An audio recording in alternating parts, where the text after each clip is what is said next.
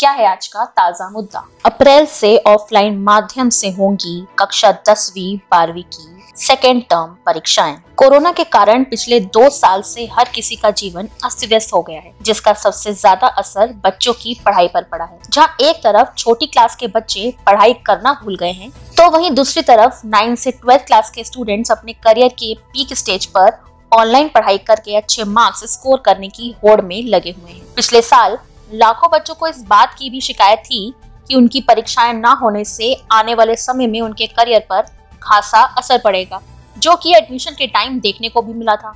इन सभी बातों पर गौर करते हुए परीक्षाओं को ऑफलाइन मोड में ही करवाना सही रहता है, जो कोरोना के कारण प्रभावित पड़ी थी। तो वहीं आज केंद्रीय माध्यमिक शिक्षा बोर्ड सीबीएसई ने दसवीं और बारहवीं के लिए टर्म टू की परीक्षा का ऐलान कर दिया है। यह बोर्ड परीक्षा ऑफलाइन मोड में 26 अप्रैल से होंगी। सीबीएसई के अधिकारियों ने बुधवार को ये जानकारी दी। विभिन्न स्टेक होल्डर्स के साथ विचार विमर्श और देश में कोरोना के हालात को ध्यान में रखते हुए ये फैसला लिया गया है। बता दें कि कोरोना के चलते दसवीं और बारहवीं की बोर्ड परीक्षाएँ टर्म एक और दो में करने का फैसला किया गया था, जिसमें दसवीं class term A board, minor विषयों की परीक्षाएँ 17 नवंबर और मेजर विषयों की परीक्षाएँ 30 नवंबर से 11 दिसंबर तक चली थी।